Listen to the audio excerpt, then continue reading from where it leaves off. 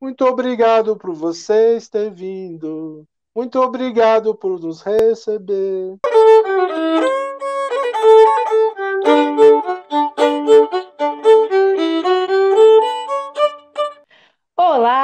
Sejam muito bem-vindas, sejam muito bem-vindos a este canal que gosta de falar sobre cultura popular, sobre tradição, sobre festa, música e brincadeira e sobre os saberes do nosso povo. E são muitos, muitos saberes.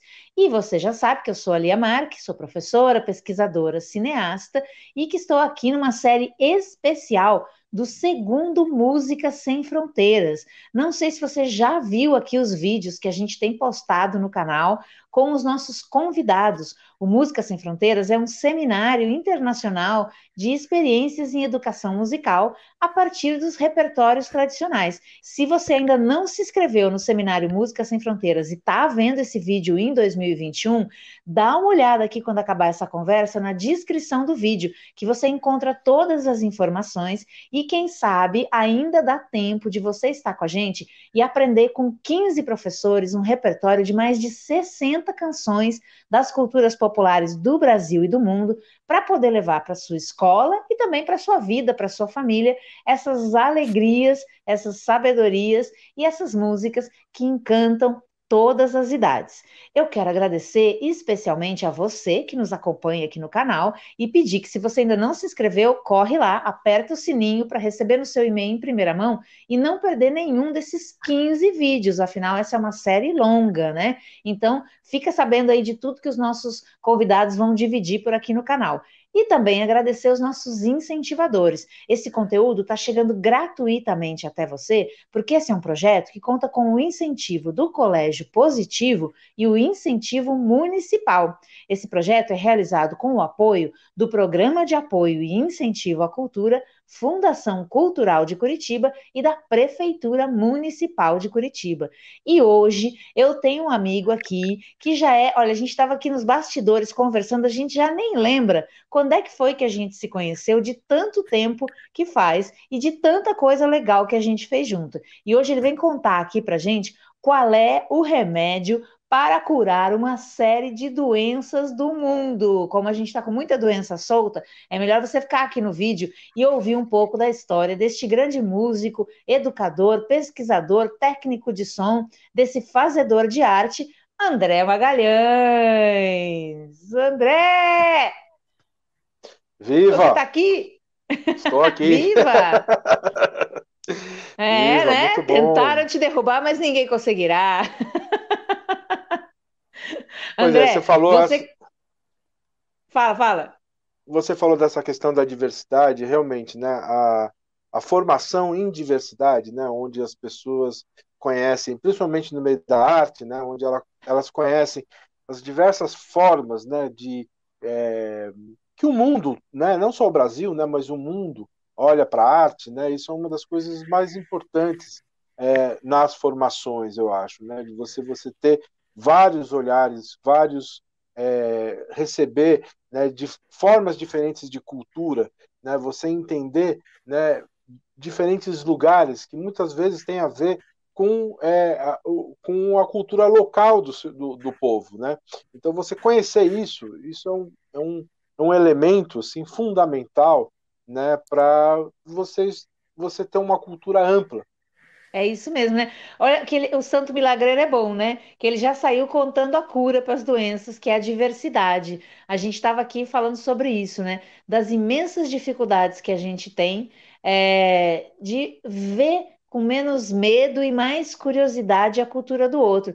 E muito, muito das doenças que estão por aí tem a ver com a intolerância, tem a ver com a nossa incapacidade de é, ouvir a diversidade do planeta. André, você estava falando uma coisa aqui também quando a gente estava conversando sobre a monocultura, né? Do como é importante a gente ter diversas plantas e também diversas músicas. Fala um pouco sobre isso aí, conta aqui para o pessoal nosso papo que a gente estava batendo aqui. É, que a gente estava fazendo, fazendo uma analogia, né? Quando a gente fala de monocultura, a gente fala muito, a gente aprende muito sobre a agricultura, né? Essa questão, né, onde se planta só soja, só milho, só cana de açúcar, enfim, numa região, né, onde você realmente você estraga aquele solo. Então, por exemplo, quando você vai, né, geralmente, nesse, no agronegócio, principalmente no agronegócio é, é, é, mais agressivo, principalmente, né, você tem essa situação de você ter campos onde você realmente você precisa espantar as aves, você precisa espantar as formigas, você precisa espantar. Qual é o jeito de fazer isso? É deixar o solo simplesmente sem nada. Né? Você tirar tudo, você tira todas as aves, tirar tudo, deixar só o que você vai plantar e é o que você vai dar de remédio para aquela, aquela planta crescer. É só para a planta. Você não tem nenhum remédio para o solo, e sim a planta. Então é um pensamento que você só vai dar o, o recurso para aquela planta, para soja, para soja, é, para soja crescer, por exemplo, né? Para o milho crescer e nada para o solo, nada para as outras coisas, né? E isso é uma pobreza. É uma, é, então você não tem a diversidade daquele lugar. Então eu faço, faço essa analogia com a música, por exemplo, né? com a arte de uma forma geral, né? não só com a música, mas com a arte de uma forma geral. Mas como eu lido mais com a música, né? então é como se você é o que acontece hoje um pouco nas rádios, nas grandes mídias, onde você só chega um tipo de, de música, né? São cinco tipos de músicas que a gente só ouve né, que chega aí para a gente, né, é como se fosse só esses alimentos que a gente recebe, né, que são alimentos muitas vezes transgênicos, muitas vezes, né, são empobrecidos por essa química que existe, né, e mas quando você tem a, a diversidade, né, com, o que acontece, por exemplo, numa floresta, numa agrofloresta, onde você tem realmente diversas, né? Por exemplo, eu tenho um sítio, por exemplo, que eu tenho vários tipos de, é, é, de, de, de, plantas diferentes, né? Em épocas do ano você tem mais uma coisa, você tem outra, mas você tem uma diversidade. Então, na música, né? A, a, na música, a formação, né, o que você recebe como alimento, de uma certa forma, você recebe só aqueles cinco, seis tipos de músicas, né? O que vai acontecer é que nem acontece com alimentos. Se você é, só se alimenta daquele tipo de, de, é, de, que realmente foi feito só com agrotóxico, com o que, você vai produzir doenças. Você vai produzir doenças porque você está se alimentando só de uma coisa só. Né? Você, o seu corpo vai trazer doença. Isso é uma coisa uma questão. E, e, na música é a mesma coisa. Por exemplo, se eu ouvir só três tipos de música, só um tipo, tem gente que ouve só um tipo de música, né? Você o que, que vai acontecer? Você vai perder a noção do que, que é o mundo. Você vai perder a noção do que é aquele lugar que você vive, daquele, do entorno de você. Né? Então, por, a, por isso que eu acho que a formação, né, é a, essa questão de você vivenciar a diversidade desde pequeno na formação e a gente é responsável por isso, né, Lia? Assim, como formadores, né? né eu até uma coisa que eu lembrei, né, na época que eu morava é, ali em Nova Olinda, né, onde tem aquela Fundação Casa Grande ali no Cariri, e eu morei nessa cidade, que é uma cidade pequenininha, uma cidade hoje está com 10 mil habitantes, na época que eu morei lá era uma cidade de 5 mil habitantes, né? É, eu eu vivi uma situação que eu me sentia um músico comunitário, um músico que levava para aquelas pessoas, né, que é, a gente, eu ia na fundação, ensinava coisa, tinha um processo de formação com ela, pegava um computador, por exemplo, no menino, um, um, um software de gravação, que eu uso o Pro Tools, ou outro software, falava assim, ó, virava para o menino e falava assim, você sabe jogar videogame? Né? Vamos aprender aqui um software de vídeo? Vai trabalhar aqui com Final Cut um videogame para você. Você vai aprender a lidar com imagens, né? Um menino, se você falar isso com o menino, ele vai pegar aquilo e vai trabalhar, né? Vai saber trabalhar, vai saber operar aquele videogame, né? Porque vou te falar que aprender um videogame às vezes é muito mais complicado do que aprender um programa de edição de vídeo, um programa de edição de áudio, por exemplo, entendeu? Então, quer dizer, você é o, a forma de você lidar com essas formações, né? Eu, eu, eu, até lembrei disso porque eu recebia muita gente em casa, né? Porque as crianças, meninos, tal, não sei o quê. Eu juntava ali no, eu tinha um estúdio lá que levava com um grande um equipamento de áudio bacana, tal, não sei o quê. E juntava, fazia, ah, você vem aqui em casa, tá, vamos fazer uma pipoca, vamos. Então, vamos comer a pipoca e a gente vou, vou deixar vocês sentados ali no estúdio, ouvindo com uma super qualidade e punha três músicas para eles ouvirem. Então punha, sei lá, Orquestra Popular de Câmara, punha lá o, o, uma música lá da, da, francesa e punha um rock, por exemplo. Né? Eles ouviam aquilo. Então era uma coisa, eles se divertiam fazendo isso. Você ouvindo coisas diferentes, vendo filmes diferentes, filmes que não chegavam prontos para eles, e sim eles tinham que é, processar a, aquilo, mas com diversão comendo uma pipoca, aí depois, né, às vezes fazia não coisas muito longas, mas mostrava essa questão da diversidade. E isso, né, eu me sentia, quando eu falo que me sentia um músico comunitário, porque eu também não só ensinava música para eles, que eu dava aula de música, dava não sei o que lá, mas também vivenciava. Às vezes fala, ah, qual, qual música bacana que você tem para me mostrar, qual não sei o quê. Então, são, são experiências. E a gente é responsável por isso, muitas vezes. E a gente não precisa fazer isso só na escola. Né? A gente pode fazer isso com é, o vizinho. Essa, é, essa época, por exemplo, não estou recebendo gente em casa. Mas, por exemplo, tem um menino aqui que é, é amigo lá da não sei o que lá, que às vezes eu trazia aqui no estúdio, enquanto eu estava trabalhando, punha sentado aqui. Ele adorava ver as coisas diferentes, entendeu? É que a gente precisa né, é, incentivar a curiosidade né, dessa, dessas crianças. A gente, é, e a gente é responsável por isso.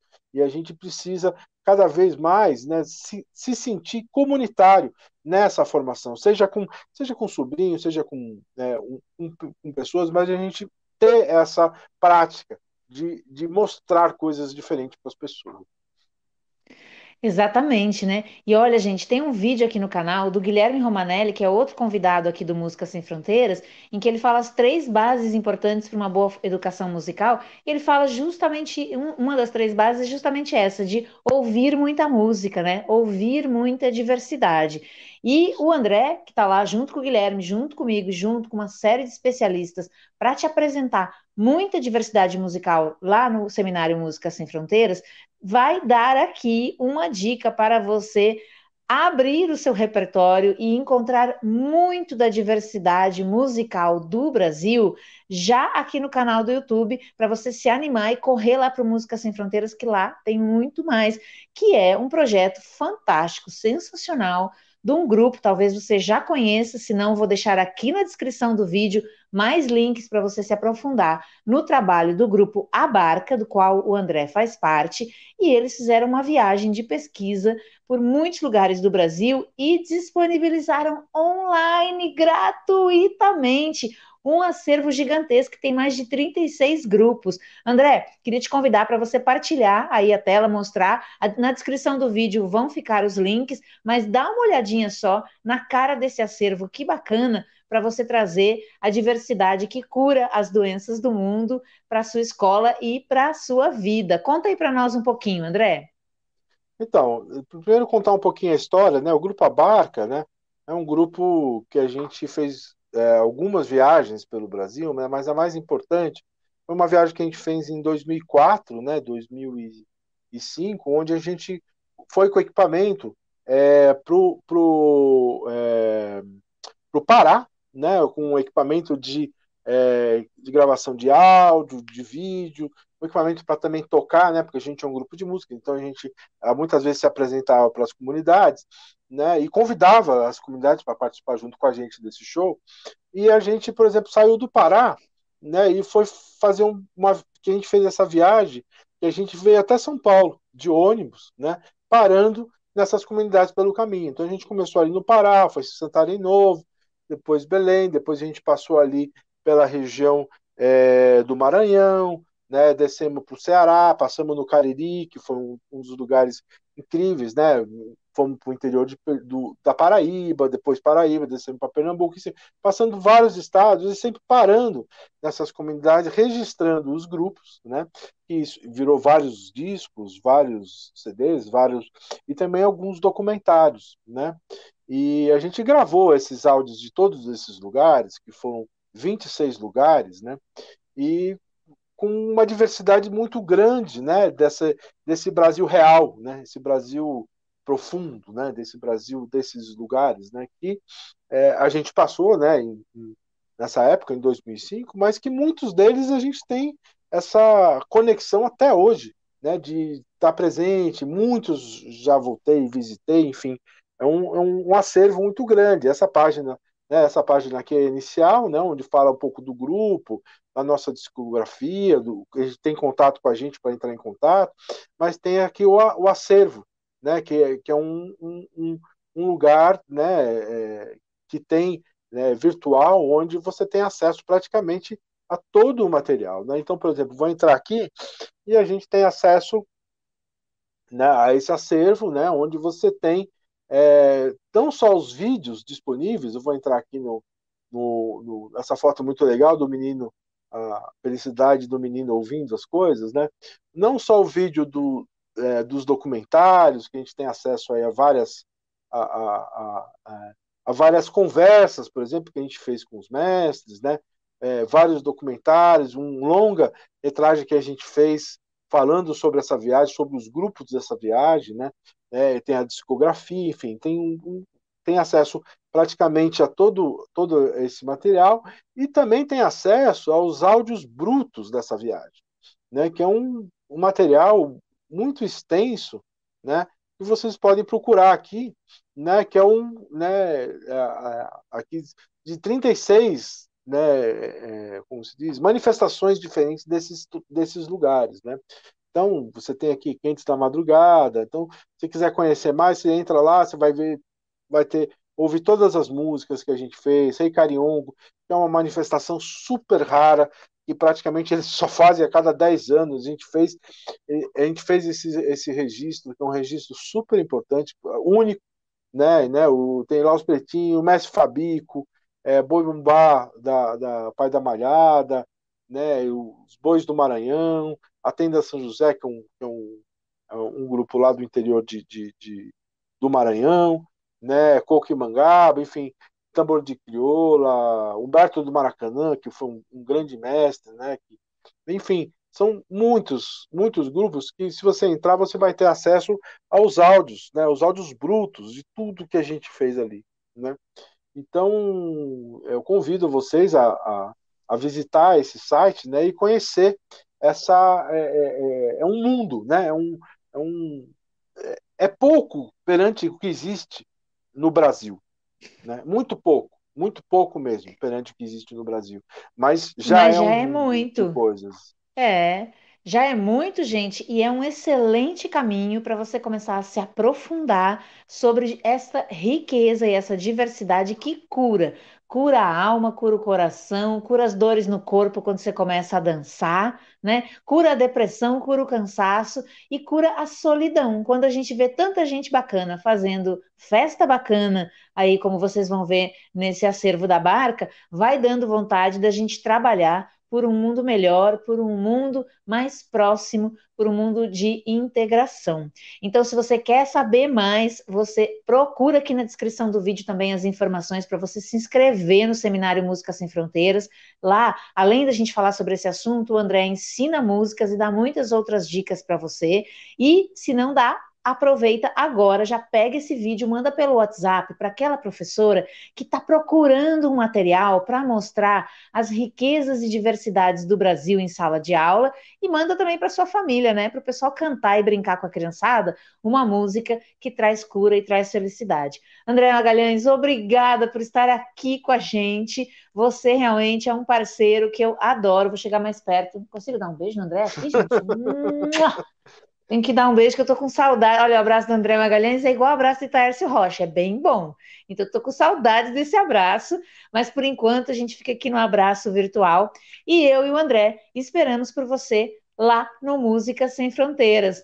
Um tchau para todo mundo. Até já, André. Te vejo lá na aula, hein? Ah, com certeza. Aí, gente, muito, é, muito obrigado pela presença de todo mundo aí, né? E vou cantar uma música lá de Pirapemas, né? Que um, um, terreiro, quando a Lia falou dessa coisa da, da, da, dessas brincadeiras, tudo, tem muita coisa que está ligada muito à espiritualidade, né, que realmente faz parte da cura mesmo, né? E essa relação que tem com a comunidade, né, é muito bonita, porque a comunidade nessas manifestações não tem o cantor, não tem o dançarino, não tem, todo mundo faz tudo, todo mundo dança, todo mundo acha um lugar para estar, né? seja na cozinha, na comunidade, para cozinhar para aquelas pessoas, mas ela acha um lugar para que ela estar. Uma vez eu perguntei para uma cozinha, por que você não está dançando? Não, eu danço também, tá, mas eu sou mais tímido, eu prefiro aqui ficar cozinhando para o povo. Então, quer dizer, cada um tem seu lugar, né? E eu agradeço vocês todos por estarem e realmente vai buscar esse Música Sem Fronteiras, que são informações super especiais, e eu vou cantar uma música aqui para despedida, né? Muito obrigado por vocês ter vindo. Muito obrigado por nos receber. Muito obrigado por essa tarde linda. Muito obrigado por essa tarde linda. Valeu, Lia, e valeu Música Sem Fronteiras. Muito importante esse projeto aí de vocês. É isso aí. Eu nem sabia que ele ia cantar para fechar, foi surpresa para mim também. Muito obrigada por me receber, André Magalhães. Um beijão. Muito obrigado por vocês ter vindo. Muito obrigado por nos receber. Muito obrigado por essa tarde linda. Muito obrigado por essa tarde linda.